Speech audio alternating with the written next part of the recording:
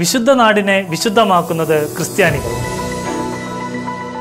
ക്രിസ്ത്യാനികളുടെ എണ്ണമല്ല മറിച്ച് അവരുടെ സാന്നിധ്യമാണ് പാലസ്തീനെ വിശുദ്ധ നാടാക്കുന്നതെന്നും ക്രിസ്ത്യാനികളില്ലാത്ത പാലസ്തീനെക്കുറിച്ച് ചിന്തിക്കാനാവില്ലെന്നും പാലസ്തീൻ വിദേശകാര്യമന്ത്രി റിയാദ് അൽ മാലിക്കി പാലസ്തീന്റെ അവിഭാജ്യവും അനിവാര്യവുമായ ഘടകമാണ് ക്രിസ്ത്യാനികളെന്നും അദ്ദേഹം വ്യക്തമാക്കി.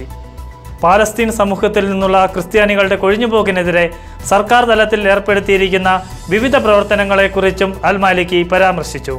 ഫിദസ് ഏജൻസിക്ക് നൽകിയ അഭിമുഖത്തിലാണ് പാലസ്തീൻ മന്ത്രിയുടെ ശ്രദ്ധേയമായ ഈ വെളിപ്പെടുത്തൽ. വേർതിരിച്ചു കാണേണ്ട സമൂഹമല്ല ക്രിസ്ത്യാനികൾ.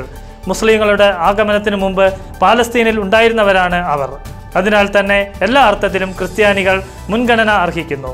പാലസ്തീൻ പാർലമെന്റിൽ കൂടുതൽ സീറ്റുകൾ ക്രിസ്ത്യാനികൾക്കായി നീക്കിവെക്കാൻ സർക്കാർ തീരുമാനിച്ചിട്ടുണ്ട്.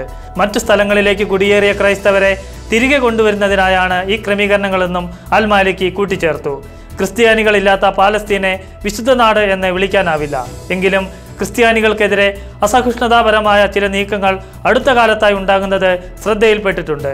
ഇക്കഴിഞ്ഞ ക്രിസ്മസ് ആഘോഷങ്ങളിൽ മുസ്ലിങ്ങൾ പങ്കെടുക്കരുതെന്ന ഹമാസിന്റെ നിർദ്ദേശത്തെക്കുറിച്ച് സൂചിപ്പിച്ചുകൊണ്ടാണ് മന്ത്രി ഇക്കാര്യം വ്യക്തമാക്കിയത്.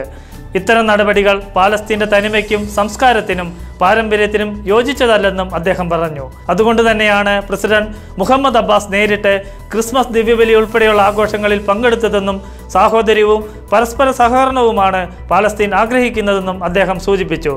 പാലസ്തീൻ ഉൾപ്പെടെയുള്ള രാജ്യങ്ങളിൽ ക്രിസ്ത്യാനികൾ അനുഭവിക്കുന്ന പീഡനങ്ങളെക്കുറിച്ച് ആർച്ച് ബിഷപ്പ് ഗാലഹറുമായി നടത്തിയ സംഭാഷണവും അൽ മാലിക്കി അനുസ്മരിച്ചു.